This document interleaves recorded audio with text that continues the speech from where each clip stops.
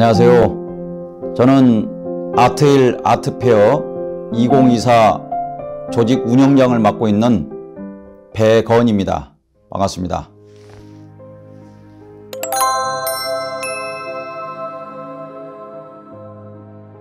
보통 아트페어는 주최 측이 제공하는 각 부스에서 작가들의 이 작품을 전시하는 모습으로 획일화된 공간 속에서 실시하고 있는 어, 일명 마트식 전시회라고 한다면 근본에 저희가 준비하고 있는 아트일 아트페어는 새로운 방식을 접목해서 다다익선이 아니라 아, 아트페어에 신청한 많은 작가들 중에서 선정된 작가 14명의 작품만 전시하게 됩니다.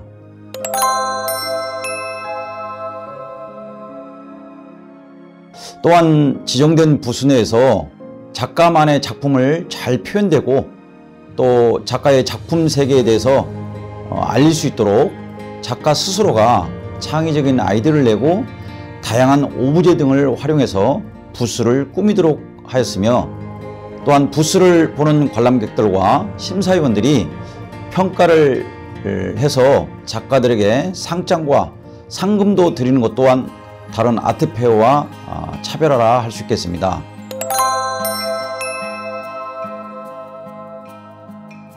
전시 기간 중에는 어, 도슨트가 작가들의 작품 이야기를 더 재미있게 또 감동을 선사할 것이고 작가 각 개인별 인터뷰와 기사도 어, 언론과 방송에 보도가 되도록 주최 측에서 무엇보다도 적극적으로 홍보해 줄 것입니다.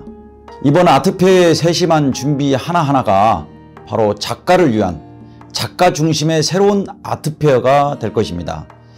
바쁘시더라도 인사동에 위치한 갤러리 나메르 전시장에 많이들 찾아오셔서 새로운 경험과 감동을 즐겨보시기 바랍니다. 감사합니다.